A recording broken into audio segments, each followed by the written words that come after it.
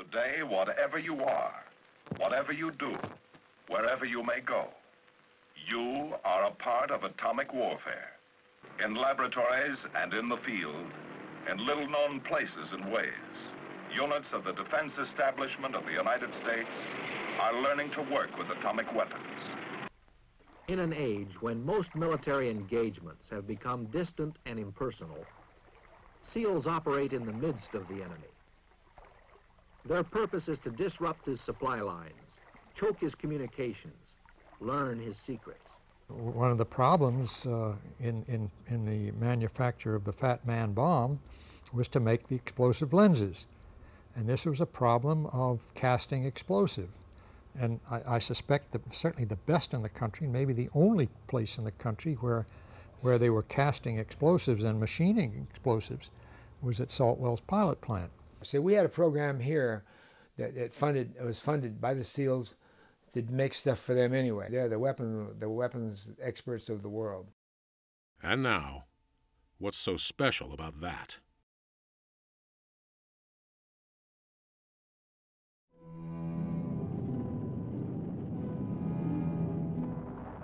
After the Second World War, atom bombs were something really new, and they were something special. They were war winners, and they were called special weapons before there was a potentially confusing special warfare catch all for rangers and commandos and swimmers and other unconventional sorts. China Lake's involvement in the development and testing and fielding and support of the specials, the technologies, the components, the support equipment, and the tactics covers a lot more than most people know. From the strategic to the sneaky, the station was well involved for a very long time.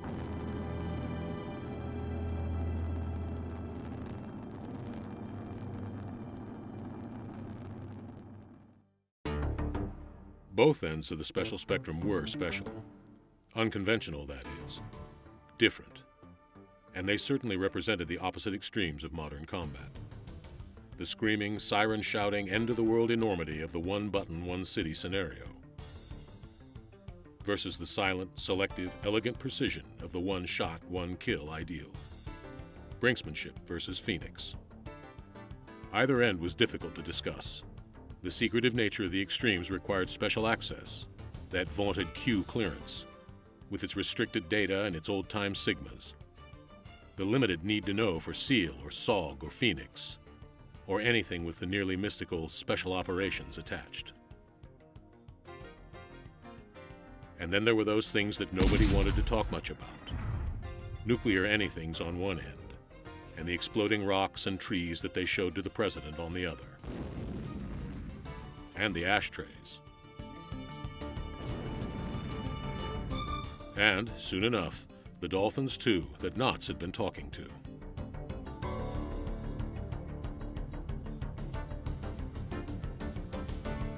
The special things at either end of the spectrum tended to be especially secret, too. And there's just not as much film available of the spec weapons in the lab, or of the spec warriors in the field. After all, that special stuff wouldn't be special if everybody knew about it.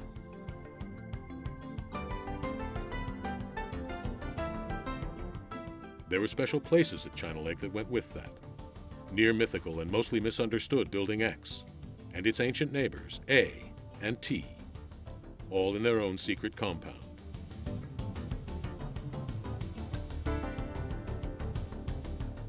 And that mysterious little tower across the road that went with them. And of course, there's XPAD, with its fabled pits. Pretty straightforward loading area in its day, but so very secret. There's the mostly forgotten LC building down the way, with its odd mods for much later projects. And there's Salt Wells, where for years almost no one could go, with its barricades and fences and guard towers, and its several CT areas, generally forgotten to signify camel test. Far-flung FLR 3, with its own private labs and shops and target village. The mysterious Tiara Lab, built really just to keep darkness in, but so near to Building X and any number of darkly rumored sub-basements in otherwise mundane buildings. There was even the Miclab machine shop's whimsically billed Iron Curtain, behind which were fabricated models of atomic missiles, and bits of Elsies and Boars, and Big Stoops, Hopis and Marlins, while hidden from curious co-workers and would-be Rosenbergs alike. But those special things were unrelated to special services, at least at China Lake.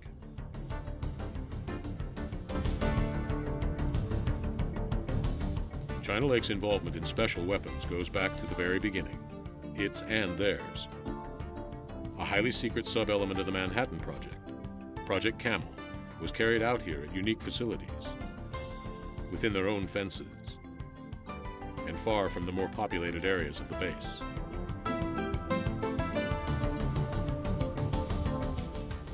The wartime Navy Caltech team tested airframes and drop dynamics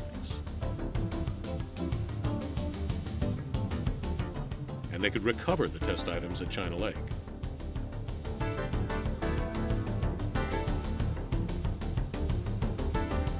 They proof tested the assembly equipment before it went to Tinian. And at the Salt Wells pilot plant, they prototyped and produced explosive lenses for the early A-bombs, establishing production means and methodologies that would help provide the devices of deterrence for the coming Cold War. Salt Wells' true mission wasn't officially acknowledged until many years after the war, and long after the plant had been closed as an AEC facility and turned over to the Navy. Even then, not many knew the extent of the station's involvement in the atomic, and some even denied it for decades. Few knew that China Lake supported early atomic testing, too, developing and deploying cloud sampling rockets, Live warheads never made it to China Lake, nor their nuclear materials, but just about everything else did.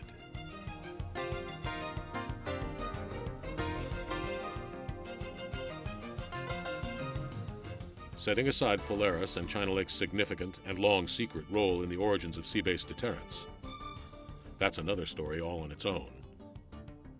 The station tested the shapes and the fuses, burned the explosive loaded cases, and rammed ICBM motors into immovable objects to see what might happen in an accident.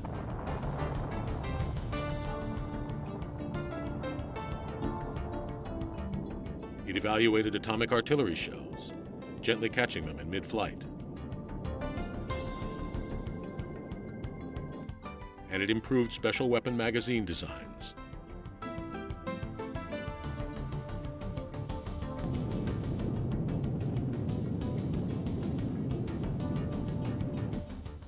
helped develop the delivery methodologies and some of the weapons release hardware. China Lake slickened the airframes and optimized them for maximum penetration through earth and rock and concrete and water. Ballistics improvement prompted some of the station's early special weapon efforts. Turning the TX-8 gun type into the TX-11 LC and helping it survive to penetrate and detonate became a major program and spawned a storied structure in the process. The station had its own specials, too, being developed as part of its in-house rocket mix. Boar from the air, Big Stoop from the ground, and Marlin from beneath the surface of the sea. Urgently needed fleet standoff weapons, advanced ones for their day, and designed for in-stock warheads that never came near China Lake. With that nuclear madness that helped define the 1950s, the station for a time pursued Diamondback, a sort of super sidewinder with an atomic option. And Hopi, an advanced Boar more or less. The highly secret Thunderbird and North Star, a very high-tech boost glide weapon concept that might supplement the up-and-coming sub-launched missiles. Special weapon delivery tactics, too, were developed and practiced at China Lake, without warheads, of course. A significant part of Tenet Squadron VX-5's mission was to define and refine those tactics, dive and loft and over-the-shoulder techniques that might get the delivery aircraft and its pilot out of the blast zone in time. No mean feat in the pre-computer era. Submarines had become a special threat by the late 1950s. Hard to find and hard to hit, and some were being filled with atomic tipped ballistic missiles. So the station, China Lake and Pasadena, also worked on and tested atomic torpedoes, but not the warheads. Atomic capable SUBROCs and ASROCs. And atomic depth bombs with cute names like Lulu and Betty, but not the warheads, were dropped, launched, shot down the tracks, and set on fire to ensure their reliability, operability, and safety. In 1955, NOTS was assigned the acceptance program for Navy nukes reliability, operability, safety, and suitability engineering. And for some years, China Lake maintained a unit at the Naval Air Special Weapons Facility at Albuquerque to do just that. The NOTS Group, which would become part of the Naval Weapons Evaluation Facility, was tasked with weapon evaluation, safety and security certification, and storage, handling, and loading procedures as well as vulnerability, survivability, and all environment safety.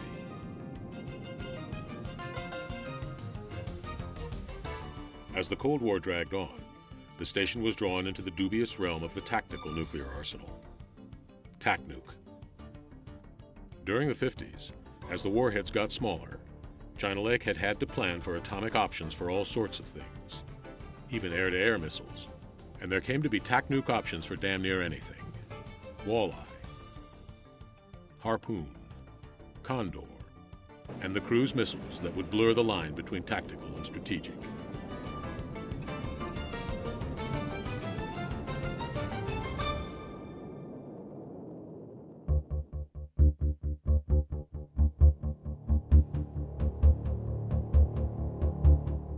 The other end of the spectrum, the other side of the special, the subtle, sneaky world of the special warfare community. Spec War, or Spec Ops.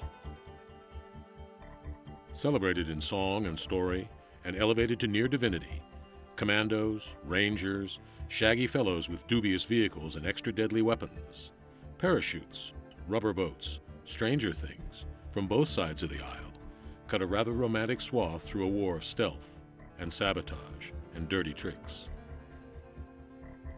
The Navy had its aptly named swimmers, who became the archetype of the spec warrior, the U.S. Navy SEALs, with their specialized weapons of all sorts small, subtle, brutally effective, sometimes crude, but often elegant, portable into nearly every imaginable extreme of nature and of man, in absolute stealth.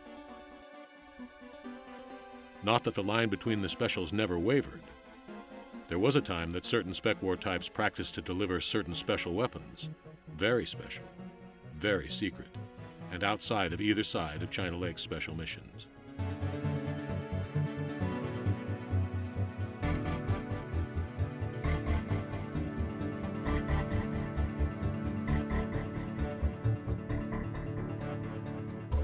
The station's contributions to the arcana of the SEALs and their Special Forces brethren included everything from exploding rocks to face paint sticks.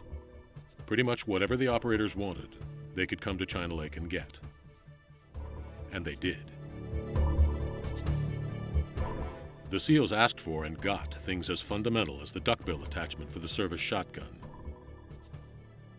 and magazine protectors, timer fired mortars, and some small discarded items you'd better not pick up. They got the nearly legendary 50 SASR sniper rifle and the Pump M79 that's evidently become a mainstay of the moronic computer gaming crowd in the years since. Not special weapons in the parlance of the day, but special purpose, specialized weapons, specialized radios, specialized cameras and watches and flashlights and beacons, things that kept away sharks, and things that lit up the dark, specialized submersibles, and other things. China Lake's Special Operations Division had its own shops and test ranges and targets. At one time, it had its own village to operate with, way out at Mythic FLR 3. But it wasn't only Forster's Group, as it was often known, that provided special devices to the special operators. From all over the station, China Lakers contributed their expertise in warheads, propulsion, and fusing, electronics and machining, chemistry and hydrodynamics, and other things. Even at the lake, not all that many people knew what was going on in that special operations vein. But even early on, there was interest at the highest levels, as the nation ramped up for so called unconventional and limited warfare. And China Lake's Special Warfare Program was broader, less conventional perhaps, than simply supporting the new generation of special forces. Oddball weapons, facts, and rocks, sensors, and PA systems, landing zone clearing devices, chemiluminescent compositions for target marking, and map reading. The center's unparalleled expertise in energetics was applied to small anti-armor rounds, specialized bullets and grenades and rocket heads, and more secret things. And a lot of these were already in Southeast Asia before the nightly news had headlined Vietnam, before China Lake had become heavily involved with the new SEAL operators. The station's inborn links to its fleet customers would help ensure the maintenance of that relationship. And larger things, SEAL team wise, would follow on in short order. More than the small arms, electronics, support equipment, and surprises from FLR 3. But full scale SDVs, those oddly shaped little submersibles, specialized liquid explosives, and the UEU anti ship mine, which evolved into the highly flexible, highly deadly, limpet assembly modular, the LAM.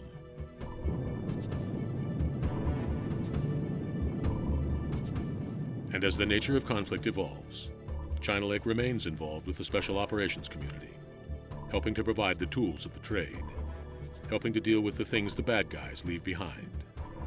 And guiding missiles from well behind the lines wouldn't be special if everybody knew about it. And here, in a new age, where Navy SEALs take center stage, and duck and cover drills may well come back to haunt us,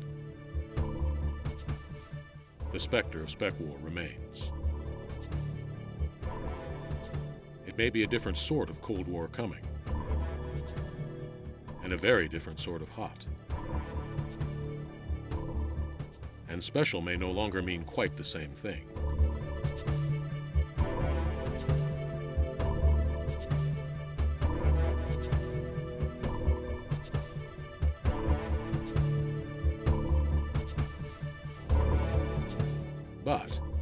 As yesterday's special becomes mundane, the challenge for the laboratory will remain to stay a step ahead of both the revolutionary and the re-emerging at both extremes of the spectrum.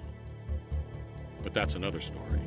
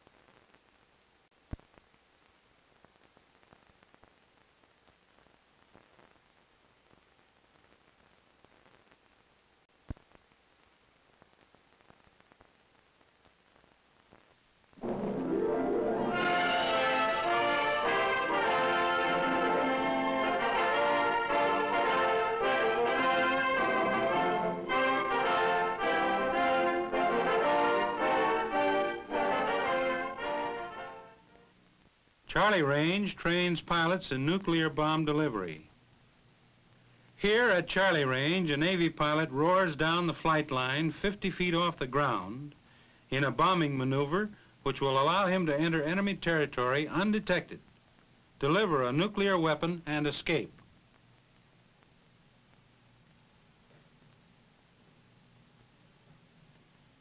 Traveling at more than 500 knots, he releases a practice bomb which continues on up to 12,000 feet as he rolls his plane in an effort to follow a course previously calculated to assure his escape from the bomb blast.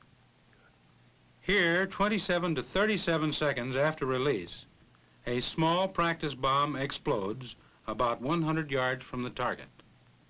The maneuver you just saw was developed here at NOTS, China Lake by VX-5. Working together as a team, VX-5 and NOTS have developed men, facilities, instrumentation, and training techniques which have been adopted by all the armed services in their pilot training program. One of Charlie Range's unique training aids, the sky screen timer, goes to work as the jet flies over it. As the jet approaches the target along the flight line, it trips a series of photocells located in the sky screen timing device.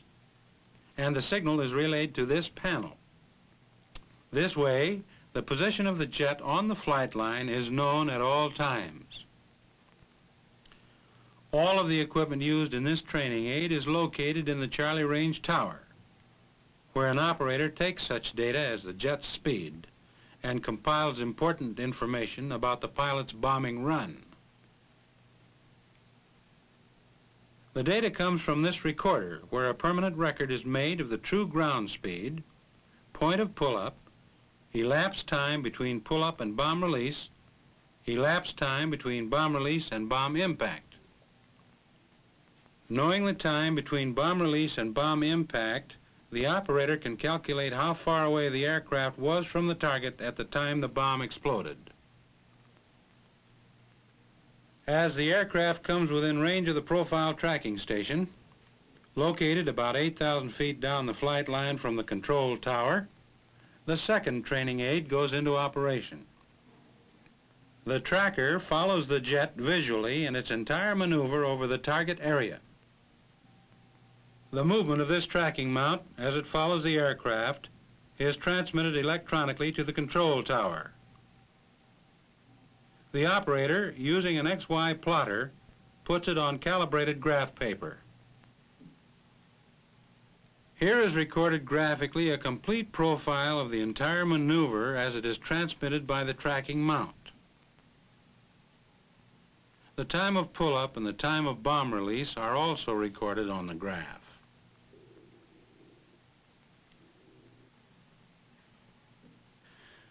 The training officer takes the visual profile of the flight and compares it with a template of the ideal profile.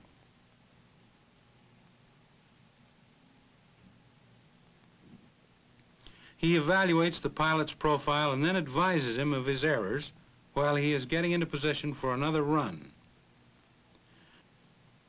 This quick service is one of the outstanding features of Charlie Range facility. The third training aid goes into operation here at the Impact Spotters Tower. Three such towers are located alongside the flight line so that the spotters are able to see and triangulate the impact with respect to the target.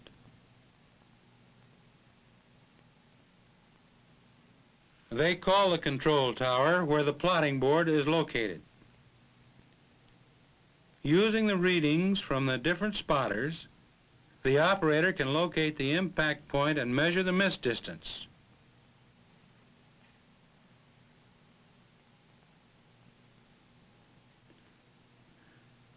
The information is relayed to the training officer who in turn calls the pilot and gives him the last item in the total flight profile report. They conclude their communication with this report. And another pilot begins his run. This way, Charlie Range can take care of four or five pilots at the same time.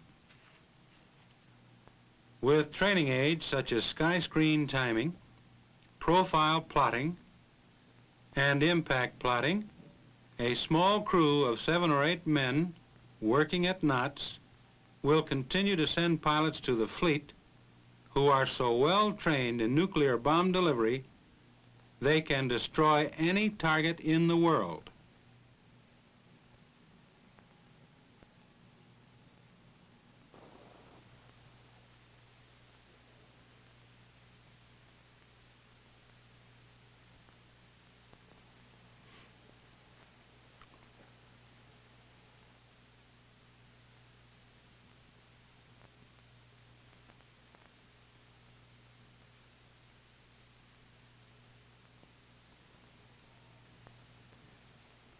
To assist the fleet in accomplishing simulated attacks, this station provides well-marked targets and supplies data on the positions of the attacking aircraft and of weapons during the critical phases of each strike. The target provided for this strike consisted of a bullseye 100 feet in diameter. First warning of the delivery plane's approach came by radio from station reconnaissance aircraft over the Mojave area. Ground control continued to receive radio data on the strike plane's positions until station radar acquired the aircraft.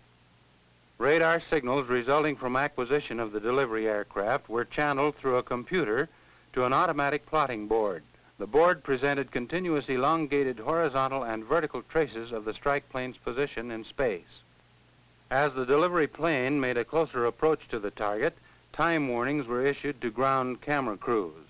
An F-2H-3 aircraft delivered the bomb while executing a 70-degree dive. The first strike was made with a Mark 7 weapon.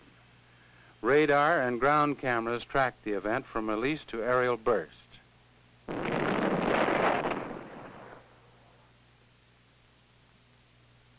The second strike from the Shangri-La was made by an AD-6 carrying a Boar weapon. The rocket-propelled special weapon was released in a loft maneuver at the initial point south of the target center. Trajectory of the Boar was also documented until it burst above ground.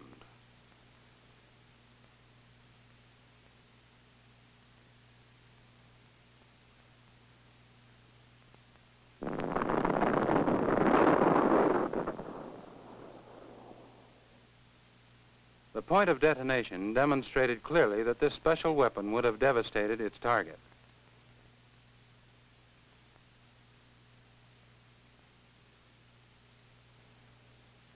The final strike was delivered by an AD-5N, which also released a Boar in a loft maneuver.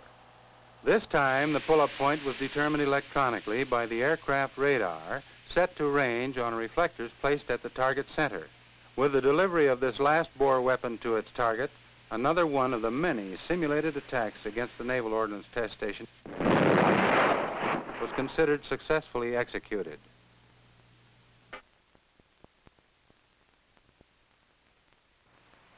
On the Special Weapons Delivery Training Range at NOTS, a B-47 is perfecting its loft delivery techniques. This maneuver consists of flying toward the target at low altitude, then executing a half loop, during which the bomb is released. As the bomb continues in upward flight, the plane rolls over to a level flight attitude in the direction from which it came. This tactic permits a pilot to pull away safely after delivering nuclear bombs from low altitudes.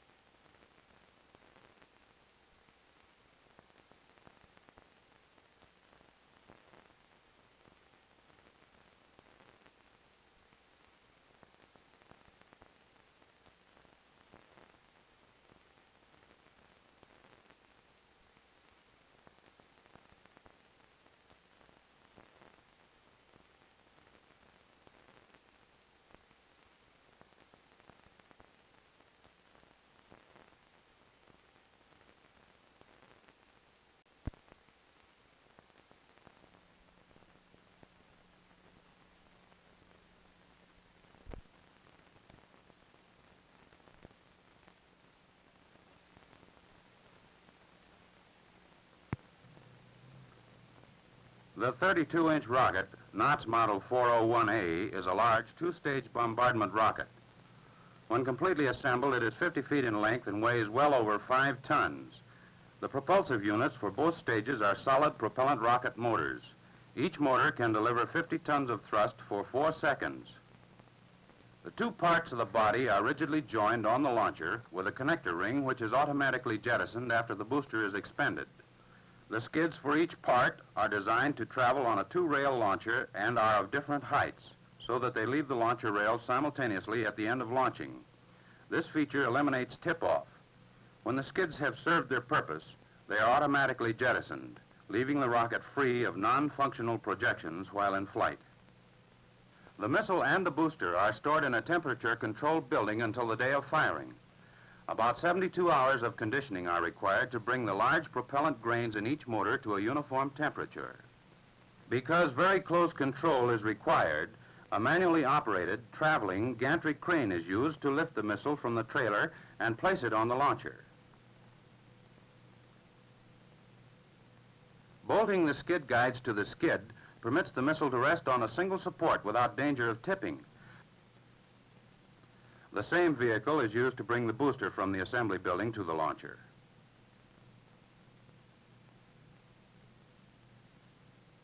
The booster is moved into place and brought to rest a few inches from the missile in preparation for mating. Flanges on the two components are used in making the connection.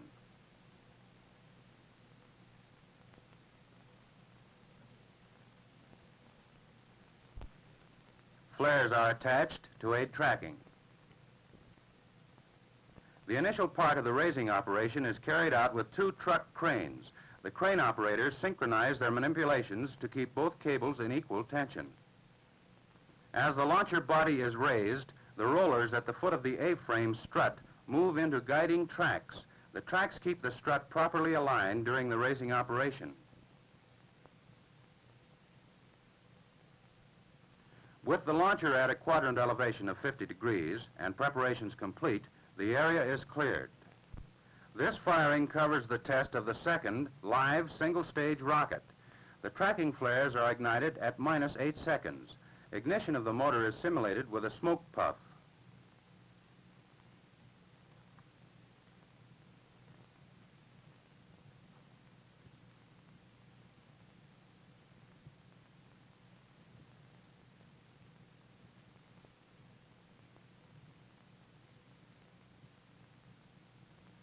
These high-speed camera scenes were taken to record launching characteristics.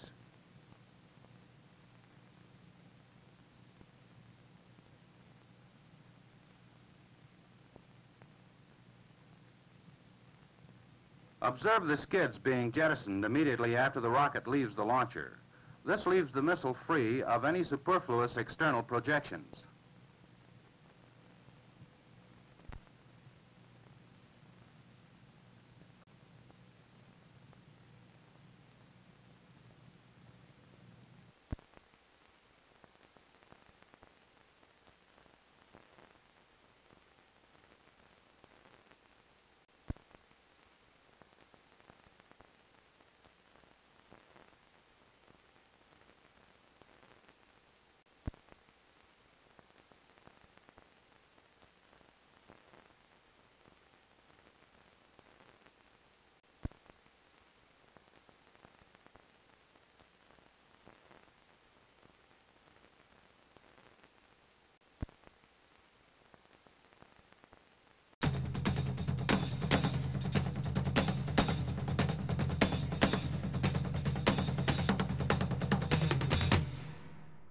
Was that? Certainly the most familiar of the military memorials at China Lake is Armitage Field, even if some people still call it NAF, nearly 40 years after the demise of that entity. The field, which once hosted NAF China Lake and a number of interesting tenants, as well as VX 5, later VX 9, was dedicated in honor of Lieutenant John Murray Armitage in May of 1945. Armitage had survived a great deal of combat and the sinkings of two carriers in the Pacific before he came to Inyokern. But his nemesis would be a small, hidden flaw in the aircraft from which he launched an experimental bunker busting rocket, a monster in its day facetiously monikered Tiny Tim. The death of the heroic and popular young aviator hit the entire station hard. And the new NOTS Experimental Air Center was named Armitage Field by general acclamation before the runways were even cleared for use. The loss of Jack Armitage would not be the last, nor would his be the final memorial at China Lake. Little remembered now is that Inyokern Airport, that small regional field in the shadow of the Sierra that once provided the cramped and bumpy early morning hop to LAX, was China Lake's original aviation foothold in the Indian Wells Valley. The former Army Auxiliary Landing Field was commandeered by the Navy for secret wartime projects, and it was dedicated Harvey Field in May 1944 in honor of Lieutenant Commander Warren W. Harvey, a Naval Academy classmate of Captain Burroughs and noted innovator of fighter tactics, who had been killed in action in the Pacific. Although the station was never actually based at Inyokern, its earliest air operations were conducted there while the China Lake Field, Armitage Field, was being built. Built not only to handle the Navy tactical aircraft of the day, but for heavily loaded and highly classified B 29s as well.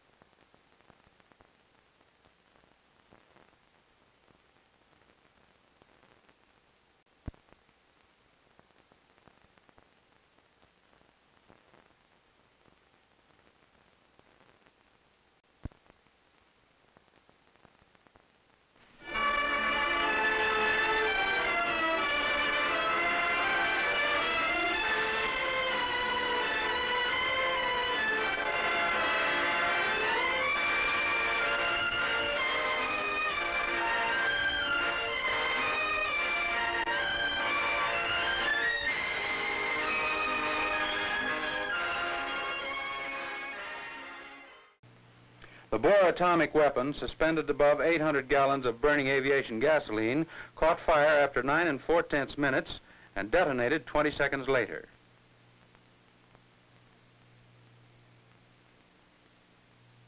This test, conducted October 30th, 1957, was one of the first of a series of naval atomic weapon vulnerability tests.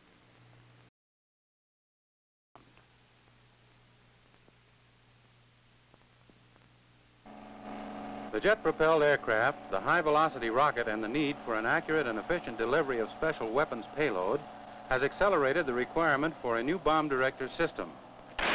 Because of past experience in the development of aircraft fire control systems utilizing magnetic analog computers, NOTS was delegated the responsibility of designing and developing the Mark 10 bomb director system for the Bureau of Aeronautics.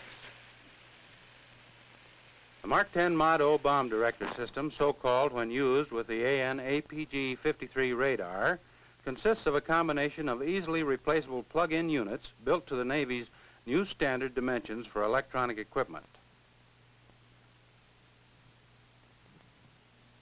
Weapons may be delivered by toss bombing, by loft bombing, and over-the-shoulder bombing.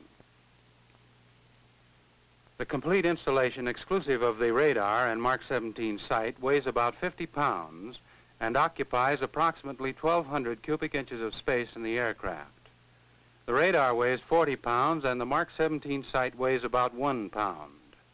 The Mark 10 system schedule calls for coincident mass production along with the production of the A4D3 aircraft and will be readily adaptable for use in any Navy attack aircraft.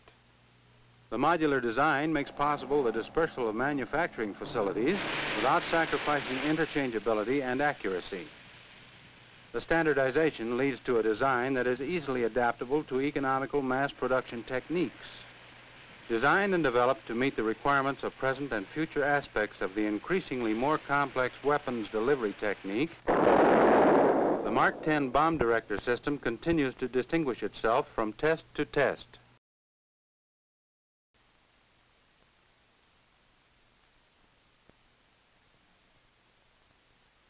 A method of launching the intermediate range ballistic missile from the sail of a submarine is currently under study.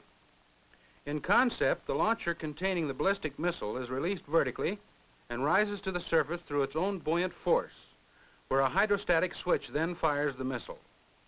Force of the rocket exhaust blows clear of the launcher nose and the rocket leaves the container for its target. Feasibility of this method for launching the IRBM has progressed to the preliminary testing stage. The test configuration used is an Aero 6C aircraft rocket launcher modified to carry only the central round, a 2.75-inch Mighty Mouse rocket. Here we see the launcher's tail fairing, which contains all the underwater release mechanisms, ballast, the firing pin, batteries, and the hydrostatic switch.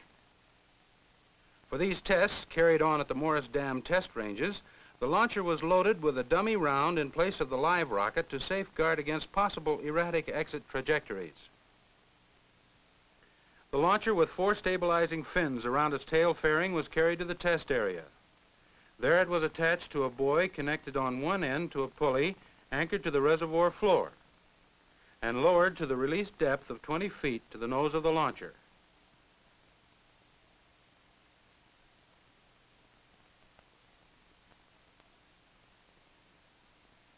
A flash bulb marks the instant of launcher release. An exploder in the launcher nose blows off the nose cap. Tests like these were made to check out the firing circuit and to assess the reliability of vertical water exit. Until vertical exit was assured, no live rounds would be fired. The 6 foot by 10 inch launcher was next tested at San Clemente Island. After initial checkout of the firing circuit with dummy rounds, live 2.75-inch rockets were used as payload. The launchers were lowered from the barge off the island coast in the same manner as at Morris Dam and to the same 20-foot depth. With an exit velocity of 25 feet per second, only 1.1 seconds elapsed from launcher release to rocket firing. As expected, the blast of the rocket exhaust blew off the nose fairing and forced the launcher back underwater in the first moments. Results of these tests fulfilled all expectations, bringing to a close this phase of the feasibility study. Future work already underway includes testing of larger missiles and launchers from greater depths in rougher seas.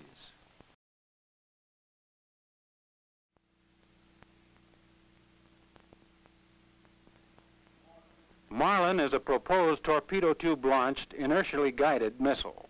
This full-scale model of the missile is 20 and one-half feet long and weighs 3,700 pounds. Launched in a horizontal position, Marlin automatically performs an upward turn to a preset pitch angle. When this angle is reached, the rocket motor fires and Marlin is propelled out of the water and onto an inertially guided ballistic trajectory. During this feasibility study, two critical problems were explored. First, could Marlin perform an underwater turn from a horizontal position and exit from the water at an angle of 72 degrees? And second, would the missile be aerodynamically stable during the initial air flight trajectory? This full-scale test vehicle was fabricated from Mark 18 torpedo parts. The guidance and control section contains elements of a B-29 autopilot and modified Sidewinder servos. Roll and yaw are controlled by the differentially operated vertical canards. Pitch is controlled by the horizontal canards. At the Morris Dam torpedo range, tests were made to determine the feasibility of making an underwater turn. This negatively buoyant rail launcher is equipped with detachable floats. Floated into position beneath the variable angle launcher, the Marlin launcher, with the missile attached, is secured to cables and winches for lowering, and the floats are detached. Two 5-inch auxiliary rockets were used to approximate the velocity of a submarine tube ejection.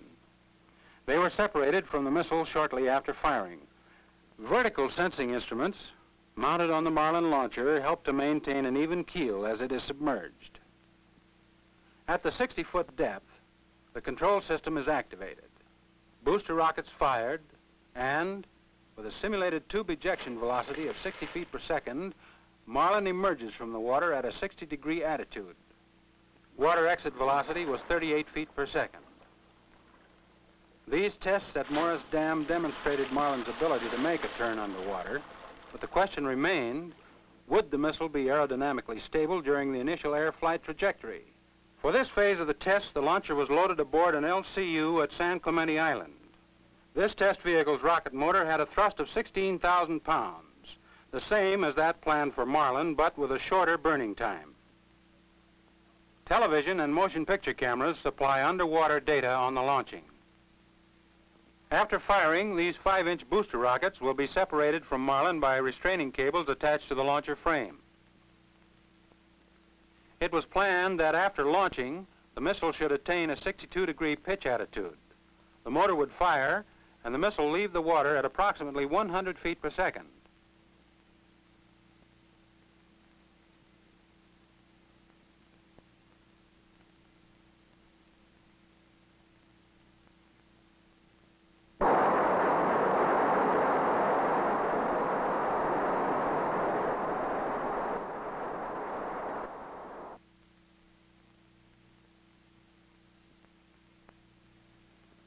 The water exit was at the desired attitude, smooth and clean, and at a velocity of 85 feet per second. The missile was aerodynamically stable during the initial air flight after water exit. The water exit under full thrust and the initial air flight trajectory were the important features of this Marlin test.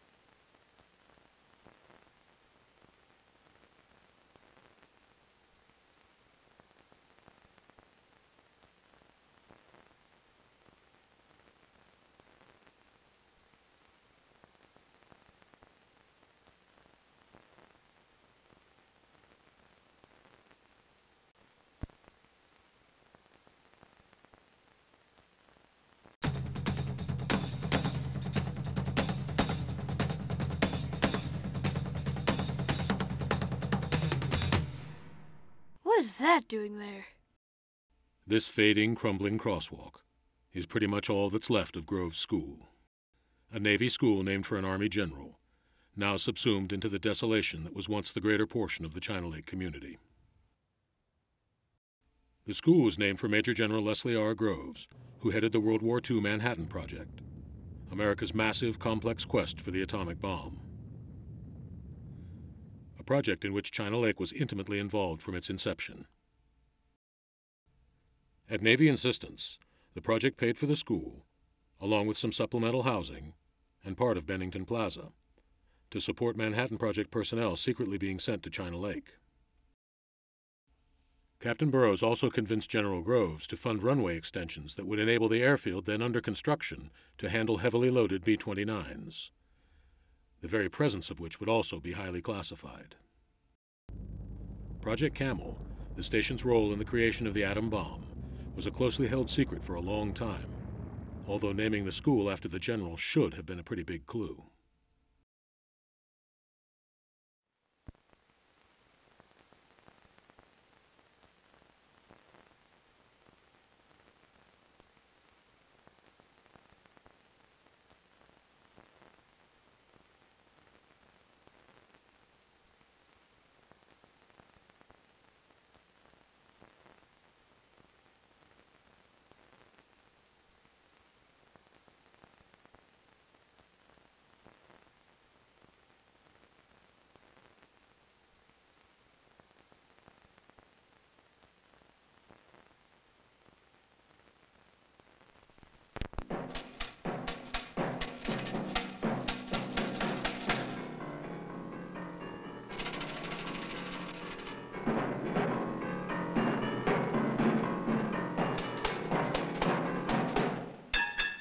Throughout the centuries. The greatest, if not the only, threat to civilization has been man himself. Since his earliest days, the way man has reacted to a situation has created conflict.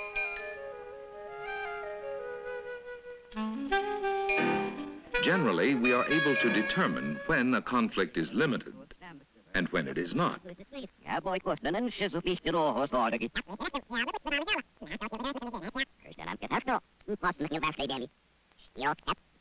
But we cannot state the precise point when a conflict stops being limited and begins to escalate into war.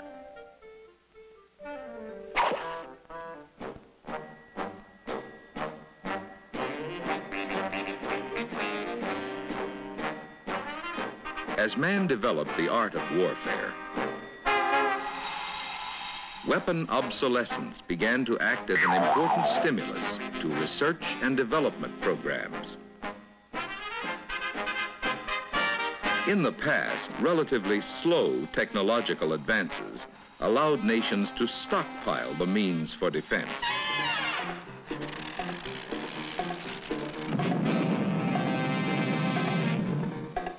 More gunpowder, muskets, and cannonballs that were stored, the more secure a country could feel.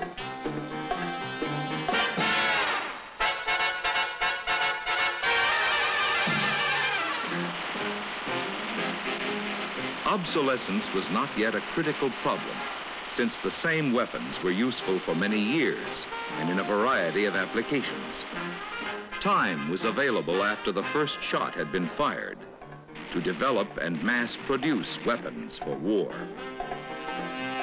However, today's world, with its explosively expanding technology, has accelerated the process of obsolescence to an incredible degree.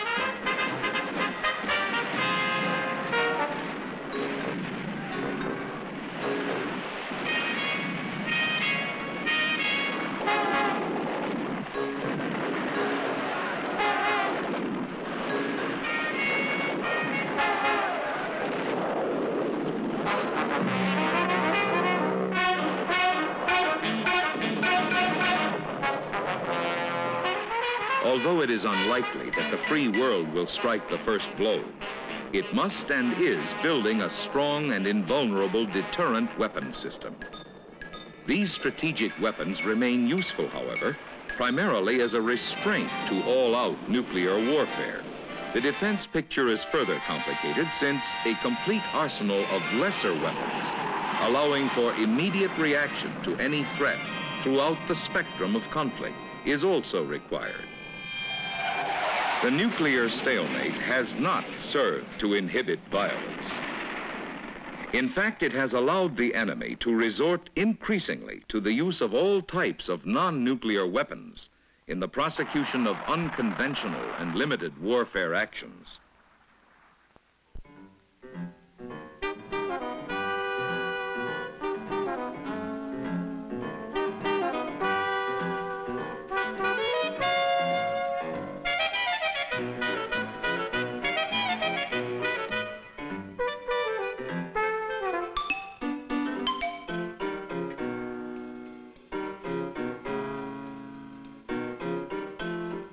Counteraction to the philosophy of continuing weapon obsolescence, scientific personnel of the U.S. Naval Ordnance Test Station, China Lake and Pasadena, California, are actively engaged in all phases of the research and development spectrum.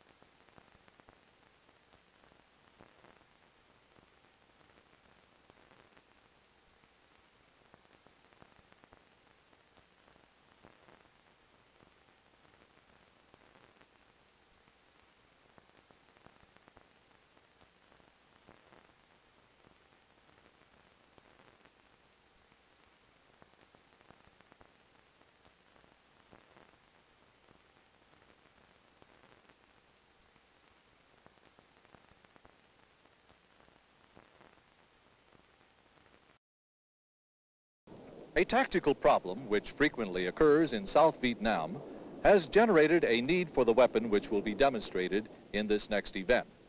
Guerrillas attack a given area. Then, knowing that helicopters will be used to deploy troops to the air, uh, that area, cover nearby clearings suitable for landing with sharp vertical bamboo poles. A helicopter pilot, unable to see these poles, cannot safely land. He needs a practical, expedient, and reliable means to clear a prospective landing site. Your television monitor shows a close-up view of a group of poles staked out in the area R with trees as a jungle background. A helicopter seeking to land there could drop a Zuni continuous rod warhead to clear the landing area. The Zuni warhead deploys a rapidly expanding ring of steel rod in a horizontal plane, cutting the poles. Result, instant heliport. This weapon will effectively clear an area 60 feet in diameter and is scheduled for delivery to ARPA under Project Agile in the very near future. A substantial program in warhead research is being conducted at NOTS to develop more efficient damage mechanisms. One technique making use of a detonating vapor is called FAE, an acronym for Fuel Air Explosive. FAE has entered the weaponization stage with the development of an aerial bomb, a bazooka round, and various land mines. Now, in this demonstration, a FAE bomb will be ground-fired adjacent to the B-29 aircraft at position S.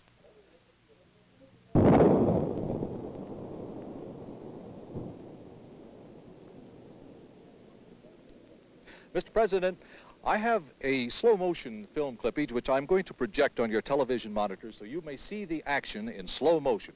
Run the film clip.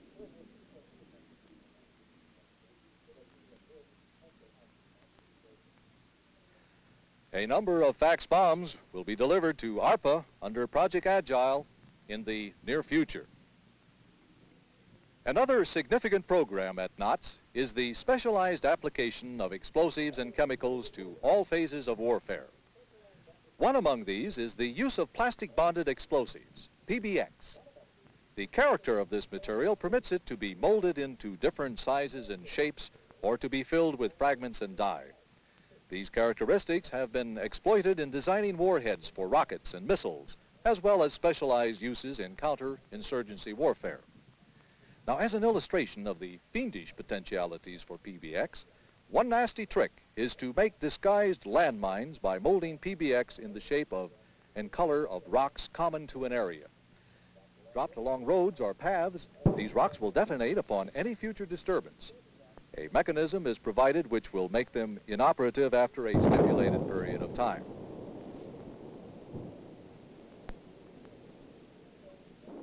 Following the firepower demonstration, Mr. Kennedy drove to Michelson Laboratory, one of the world's most complete weapon research and development centers.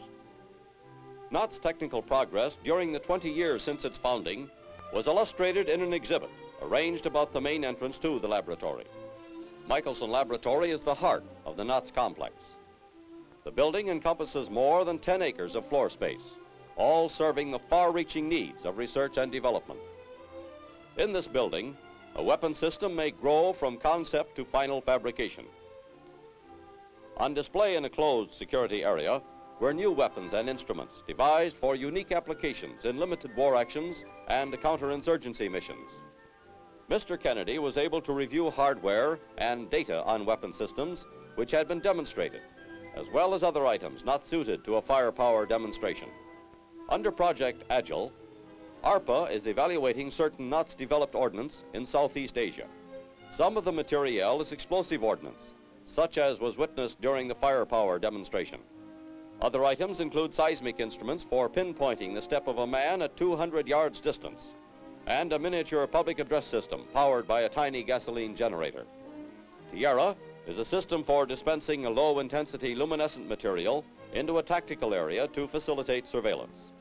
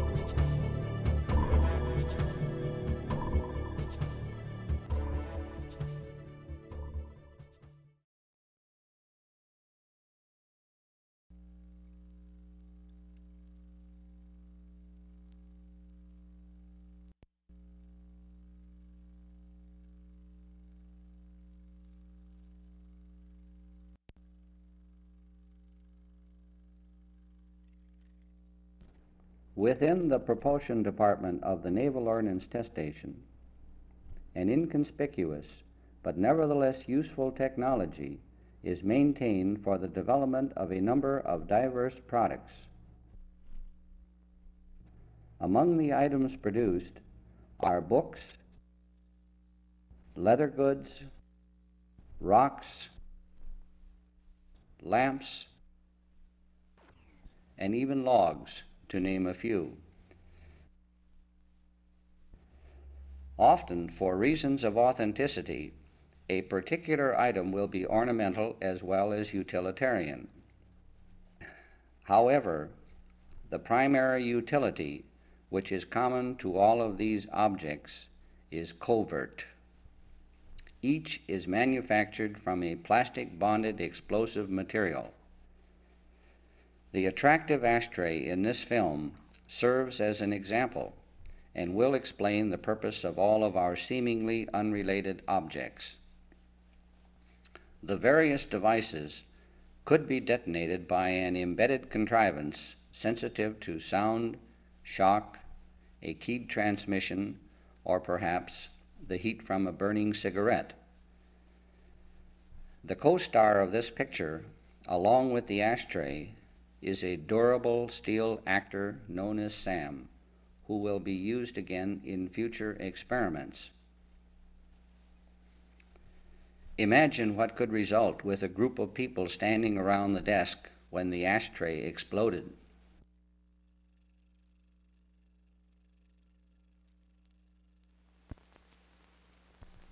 And Sam, did I say we would use him again?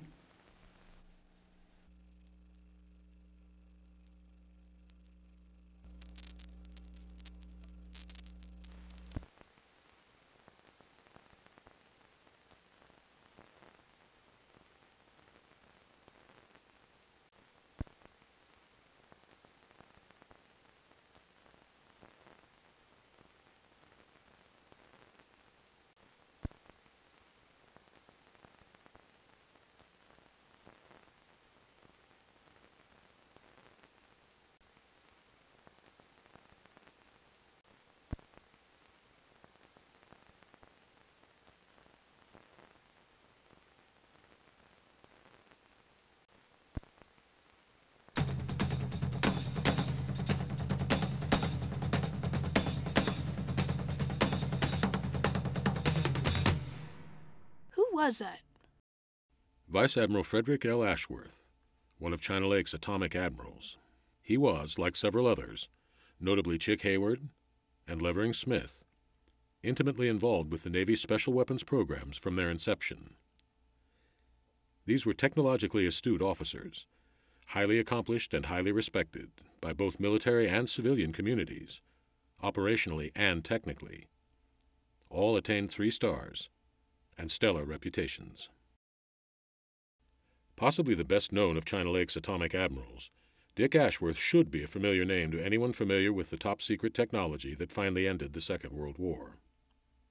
Dick Ashworth was the weaponeer on the Nagasaki mission, the guy in command of the weapon. Like Parsons at Hiroshima, it was a U.S. Navy officer who actually dropped the bomb. Ashworth later served as the station's commander during the mid 50s, and he was the first to actively market China Lake's extensive RDT&E capabilities, even capabilities beyond Sidewinder. China Lake's first experimental officer, Vice Admiral John Tucker Hayward, known by all as Chick, held a unique and powerful position at the station. And he was a key player in Project Camel, China Lake's Manhattan Project role, coordinating drop testing of weapon shapes and piloting the B 29 himself on many of the test missions. A colorful character of great technical ability and deep insight, Chick Hayward may well be best remembered for his tacit allowance of his ship's unofficial adoption of an orphaned Korean infant. Levering Smith, Vice Admiral Sir Levering Smith, served as both a technical department head and associate technical director during an extended tour at China Lake, unheard of for an active duty officer. As technical director of the Polaris missile program, he helped bring China Lake deep into the creation of the nation's submarine based deterrent force. But that's another story. All of the atomic admirals were instrumental in the station's involvement in significant programs. The Manhattan Project, Sidewinder, and Polaris, to name only a few. All were active in the community, and all remained tied to China Lake for decades after their duty tours. Uh, I'm delighted to be back here. I guess if you look at deeply in some of the sand, you'll find some of my blood mixed up with it because I had. And all should be better remembered, especially at China Lake, than by a fading blue sign in a demolished neighborhood where disintegrating streets are slowly consumed by scrub.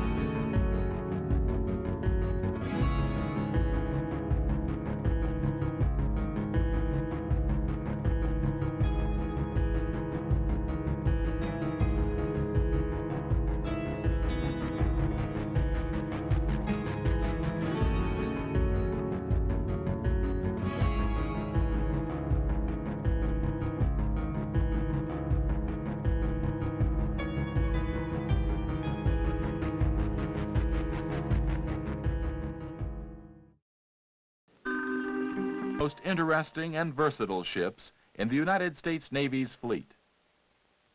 The reworked Regulus hangars are the heart of the troop delivery system. Each is now divided into a wet side with lockout hangar and transfer trunk, and a dry side for the hangar door is opened. Ship's divers out on deck in its cradle. A block is fastened to a deck pad eye. The outhaul cable is winched from inside the hangar. To avoid damaging the dive planes, they will be installed on deck. For actual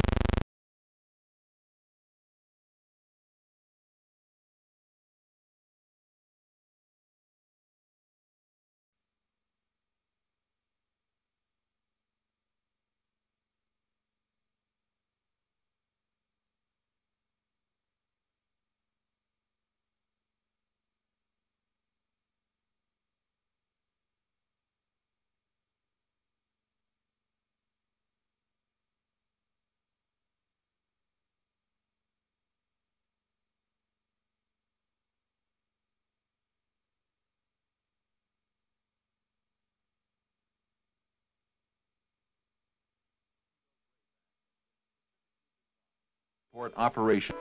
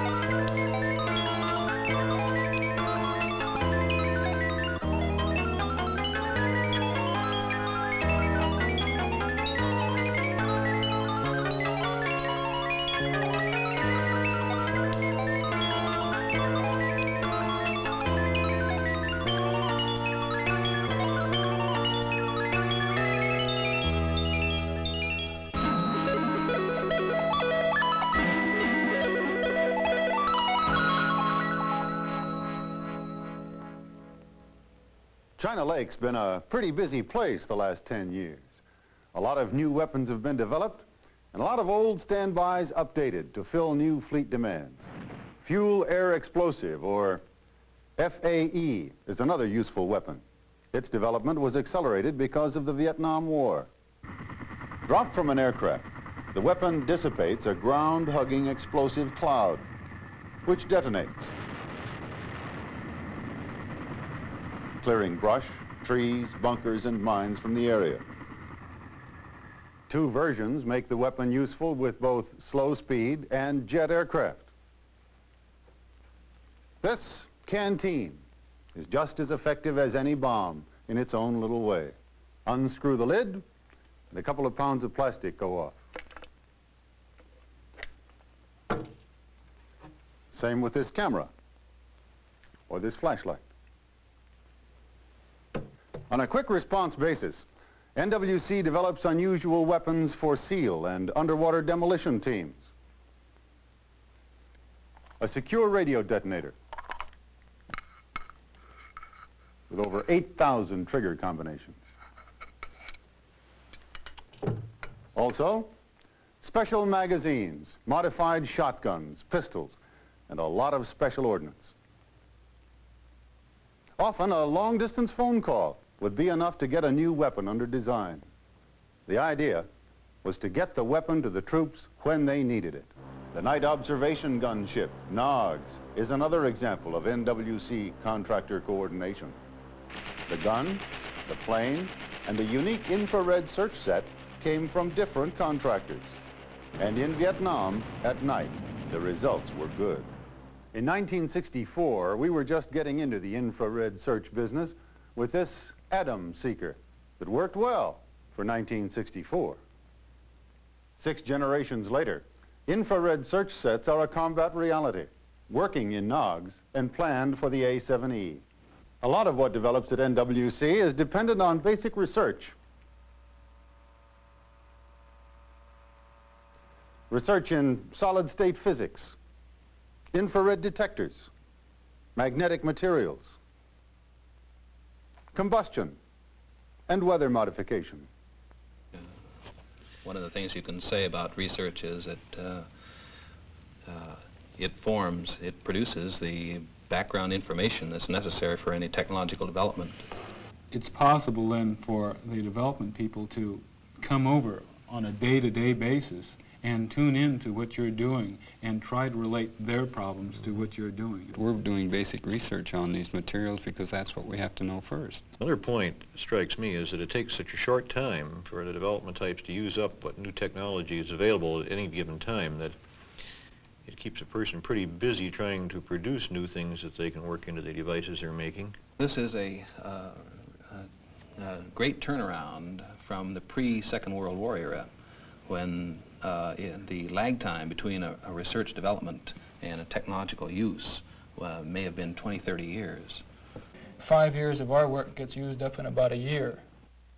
Well, there you have it. A quick look at what Naval Weapons Center China Lake is all about. What we've done in the past and what we'll be up to in the future.